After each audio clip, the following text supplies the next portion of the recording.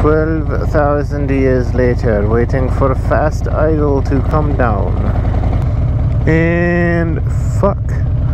I was gonna go, but Jesus.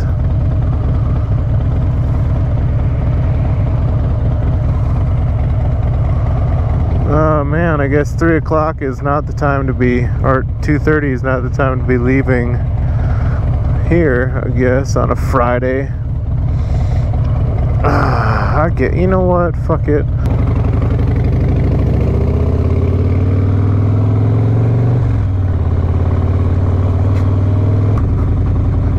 Twenty twenty riding season's almost up. I can just sense it. I can see it. Look at all the colors. They're supposed to be green. They're turning yellow. That means that things are going bad. Things are getting cold. Get out.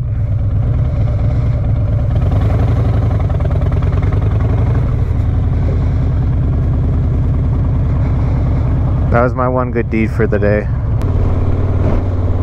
motorcycle cop got somebody. so big things have happened this year in 2020. I just rolled over 10,000 miles this year. Put that in perspective, last year I only had about, I want to say eight, so I have an extra 2,000 miles for sure more than last year. I'm actually, uh, do the math, I'm at like 10,003. Uh,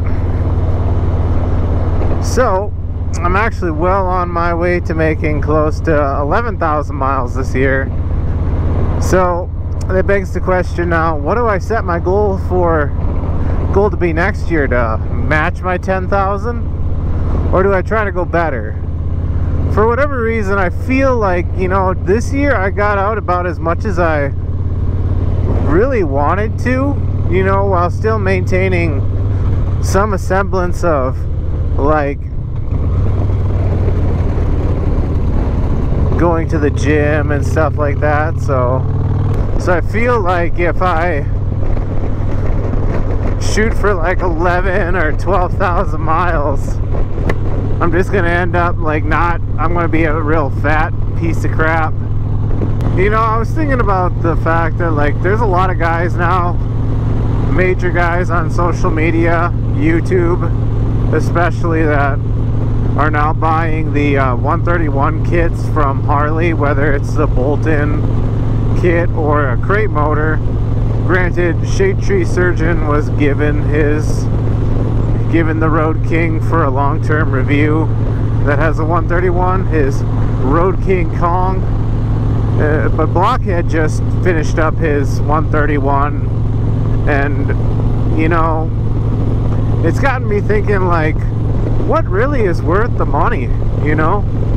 Like what's what's really worth it in terms of like price point um user-friendly uh, rideability and even like overall like wear and tear reliability to your motorcycle. Like you know I hate to say it but I think Harley Davidson did better in terms of making that 131 because even though there's some people that or there's been you know information and details coming out about the 131s and how they got to that displacement and like they question they question the reliability and like heat issues and whatnot and like I so far you know there's been a number of guys that have gotten it and I haven't heard a whole hell of a lot of people complaining about them like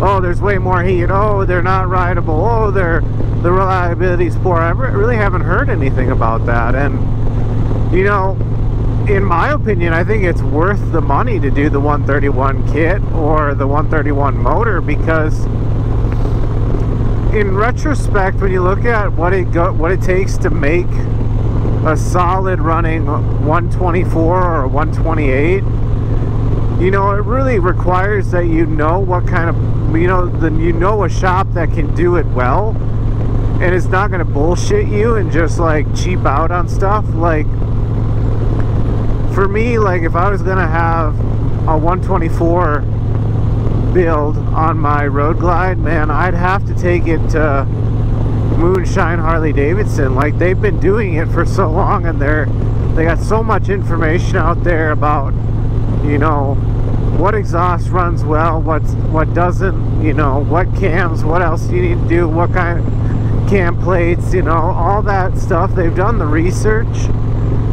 And you know they would be the ones that I would trust to build a 124 128 hell they're even doing a 131 like aftermarket build. But the thing is is like that concerns me most about the 124 128 builds is that even if you do it right it seems like there's a lot of people that end up having to replace things you know replace a clutch or replace a uh, uh, you know the compensator can't handle it so we have to put in a new one here. And then on top of that like oh I just destroyed third gear or something like that so they have to put in a stronger gearbox and all that and it's like all that totals up in a hurry to being a crazy crazy build or crazy bill, I should say, not just the build. It's a crazy build, but it's a crazy build to go along with it. You see, I haven't even done my cam. You know, I haven't done the 475 cam, haven't had it tuned with a power vision or any of that, and you know, I think my bike runs well. I think it runs decently. I feel like the power is strong and reliable but I mean, obviously, like I, I want to go for more. I'll, like, who doesn't want more power? Who doesn't want that face melting torque? That that screaming exhaust note at 600 or you know 4,000 RPMs, and you're already going 120. You're just pinned out, just ah. You know, who doesn't want that?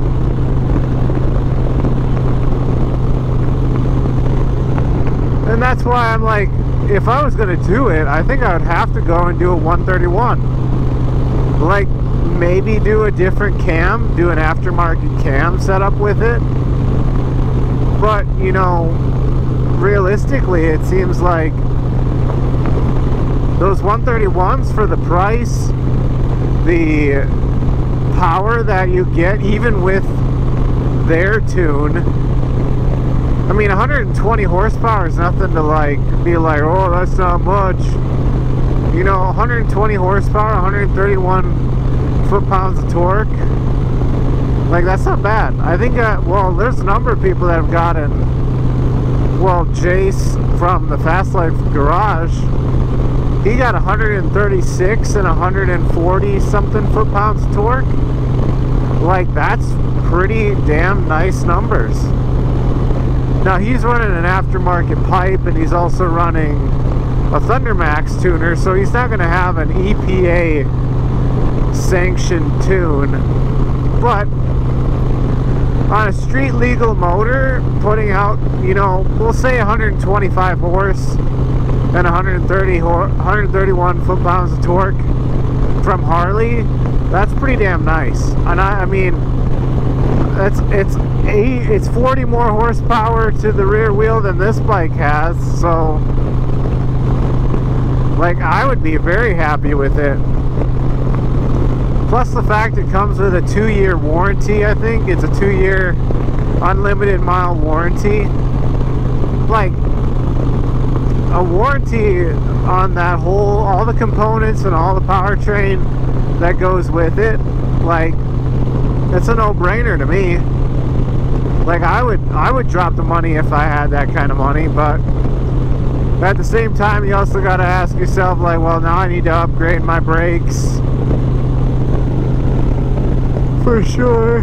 Because you're putting out that kind of power, you're going to need to be able to stop too, and so you'll have to pay a bit more cash for that.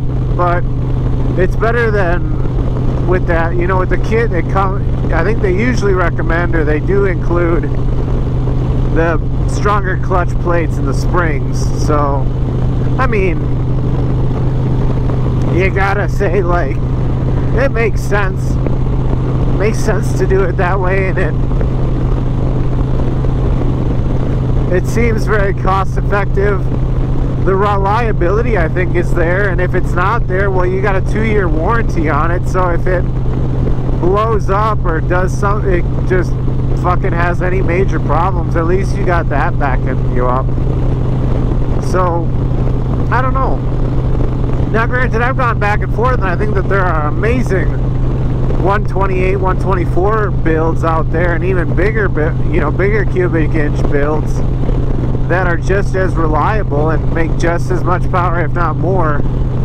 But you know if you're a if you're a novice and you don't really know what components to buy or don't have a shop close by that's ever built and tuned anything like that you're kind of in a you know it could be in for a mess and a world of hurt if you uh, if they skim by and they say oh yeah we got it built for you and then six miles from the shop, your clutch just grenades itself or your transmission just shreds all the gears, you know. You have six neutrals. Like, I don't know. It's one of those things where it's like, I, I feel like I could go either way on it. But I think if I was to, if I had a limited budget I would definitely probably go with the 131 or 128 I guess it is for this if it was the bolt-on kit the 128 stage 4 kit for this bike and run a good two into one and see what kind of power we make you know anyways guys I think that uh, that's gonna be a rather short video it's just like I'm just riffing off the top of my head about like these 131s like they're catching on pretty quick. So, I mean, I don't know if it's just a craze and people are getting really good deals to install them or if they are worth all the hype. You're going 65 and an 80. I hate you.